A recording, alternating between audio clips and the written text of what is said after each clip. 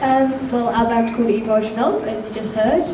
Um, and this song is about St Patrick's Day, um, how they're missing home, so they're going to paint the town green. So the song is called Paint the Town Green by The Script.